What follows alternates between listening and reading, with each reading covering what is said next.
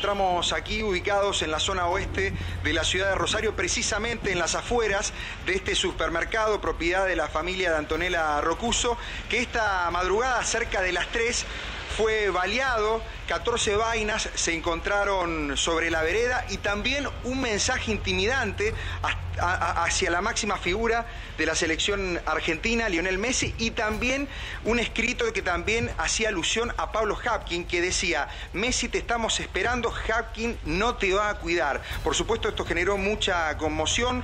Hoy estuvo trabajando el ministro de Seguridad eh, de la provincia, Claudio Brillón, y también estuvo eh, Hapkin presente aquí en el lugar, haciendo, eh, dando, por supuesto, una mirada acerca de lo que sucedió y que generó una gran conmoción eh, en este sector de la ciudad de Rosario que eh, ya se han contabilizado 58 hechos en lo que va del año, una tasa altísima y sin precedentes es lo que se está viviendo. Te cuento, Mariano, que en estos momentos estamos recorriendo el supermercado que fue baleado esta madrugada en el día de hoy.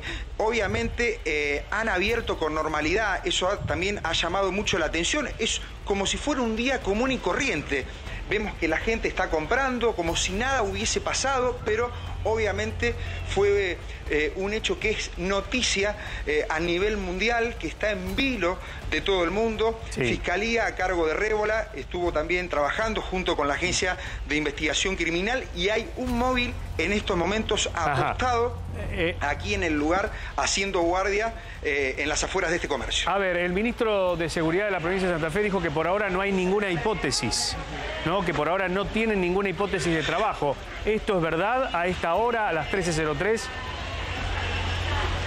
Eh, se han barajado, Mariano, algunas, algunas versiones, hipótesis, algunas conclusiones referidas también a la banda narcocriminal Los Monos, pero lo cierto es que no hay nada concreto. Eh, hasta el momento no hay una versión fehaciente, por eso todo está eh, en materia de investigación. repasamos, nosotros estamos aquí ubicados en la Valle al 2500, entre Ocampo y Boulevard 27 de febrero, en la zona oeste de la ciudad de Rosario, donde esta madrugada, cerca de las 3, dos individuos que se movilizaban en una motocicleta dispararon contra este comercio eh, de la cadena único perteneciente a la familia Rocuso.